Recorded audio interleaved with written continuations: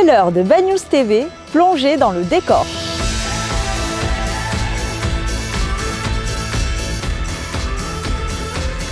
Depuis quelques jours, vous pouvez consulter sur notre site internet une toute nouvelle page intitulée Sécurité.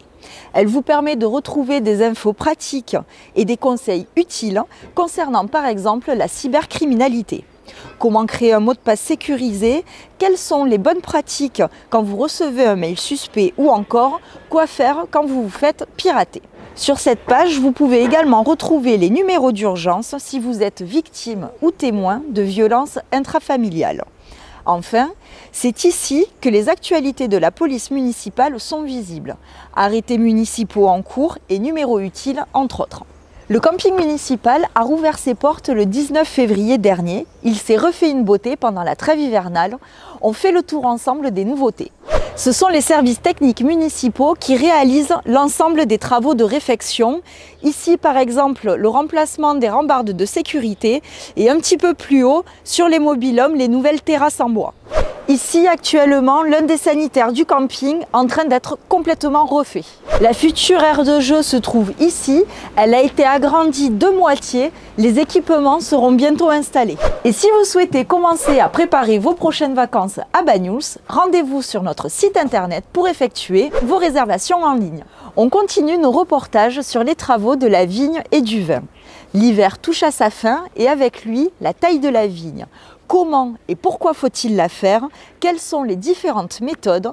Rémi, Olivier et Francis nous expliquent tout.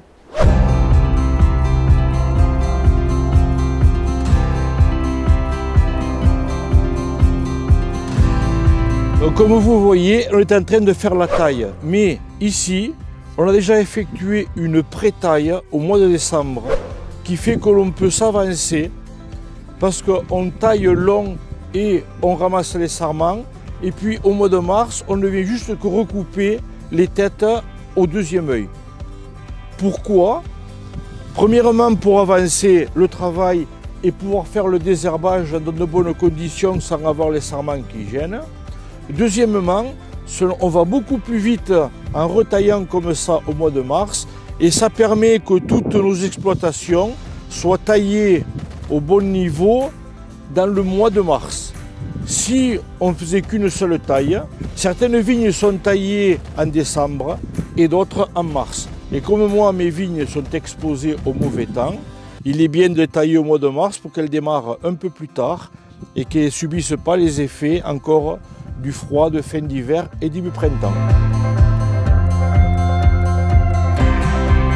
Donc voilà, ici, je viens recouper à deux yeux pour ben, attendre les futurs raisins. Après la taille, donc on va venir à la mi-avril, le premier sulfatage, c'est-à-dire quand la vigne est partie de ça, un sulfate. Et après, au fur et à mesure qu'on sulfate, quand la vigne grandit, on sulfate, on sulfate, jusqu'à la récolte. Après, on peut, pour le vent ici qui fait du mal, on peut couper les sarments, la, rabaisser un peu, pour ne pas que les sarments cassent avec le vent. Ben là, on fait une taille euh, sur gobelet, donc on taille tard, euh, le plus tard possible pour euh, cette partie de vigne qui est une vigne haute, où vraiment les conditions sont plus froides. Donc on taille au haut tard pour éviter plus de traitements. Euh, donc euh, cette parcelle par exemple n'aura que, deux traitements euh, au lieu des trois ou, quatre traitements dans les autres parcelles. On coupe à deux yeux et on laisse trois ou quatre têtes selon les têtes qui restent.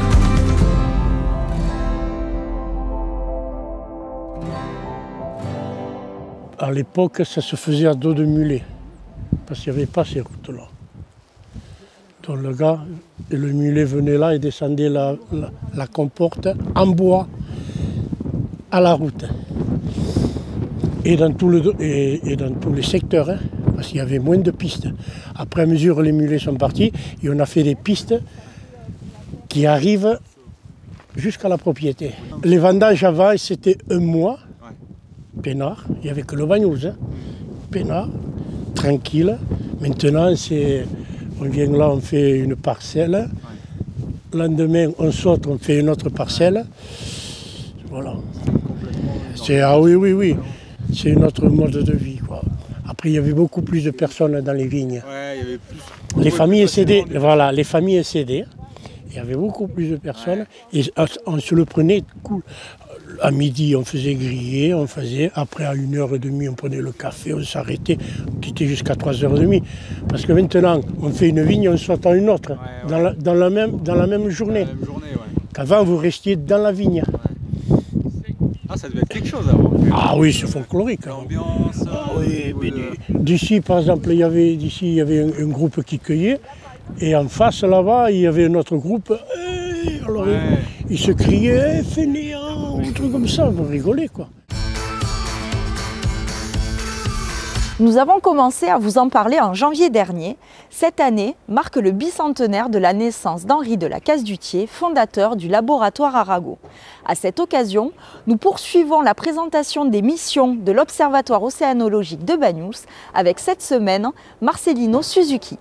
Bonjour, euh, je suis Marcelino Suzuki, je suis professeur à Sorbonne Université je suis directeur de laboratoire qui s'appelle LBBM, laboratoire de biodiversité et biotechnologie microbienne ici à l'Observatoire de Bagnous. Donc euh, l'objectif de notre labo, c'est d'une part étudier les micro-organismes qui habitent dans la mer et euh, en association avec différents organismes. D'un point de vue euh, des recherches fondamentales, comprendre leurs interactions et d'un autre côté, de valoriser cette, cette richesse de ces micro-organismes d'un point de vue valorisation pharmaceutique, cosmétique nous avons une collaboration pérenne avec le laboratoire Pierre Fabre ici à Vaduz et euh, aussi avec le CNRS, l'Université de Perpignan.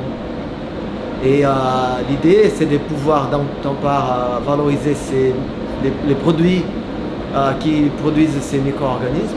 Et d'autre part aussi utiliser ces micro-organismes pour dégrader les contaminants émergents, les, polluants, par exemple les filtres solaires qui est une, une, thématique de recherche que nous avons menée depuis un moment ici au laboratoire, où nous étudions les effets, euh, la distribution et les impacts des effets solaires dans l'environnement.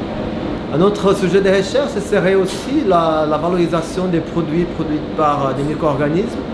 Euh, par exemple, comme médicaments, nous avons eu un projet où on cherchait des médicaments ou de molécules antitumorales à partir de bactéries isolées des lichens marins. Ça, c'est un autre exemple. Il y a des personnes qui travaillent avec les champignons associés aux Posidonies euh, qui sont ici à, la baie de Bagnous.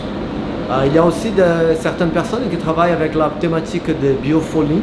Euh, par exemple, c'est le verdissement des tuiles terracotta et comment éviter ces verdissements. Donc, il y a un nombre de, recherches qui sont appliquées ici dans, notre, dans notre, laboratoire.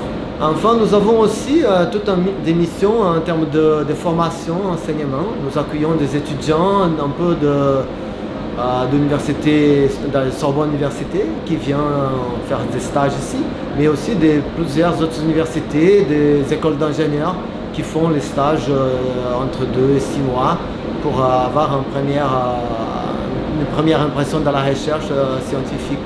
Donc ça, c'est notre mission euh, de notre laboratoire.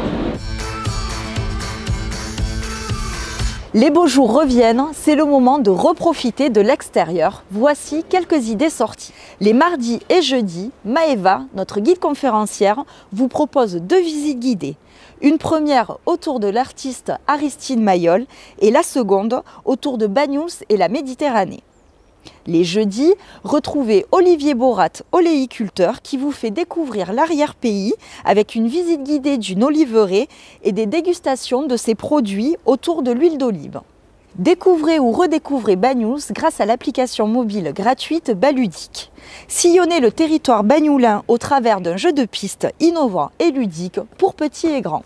N'oubliez pas que nos amis vignerons vous ouvrent les portes de leur cave toute l'année pour des visites et des dégustations. Le dimanche 4 avril fêtera Pâques. À cette occasion, la ville organisera sa traditionnelle chasse aux galets sur la plage centrale. Nous vous donnerons toutes les informations très rapidement. C'était Bagnous TV, on se retrouve dans 15 jours.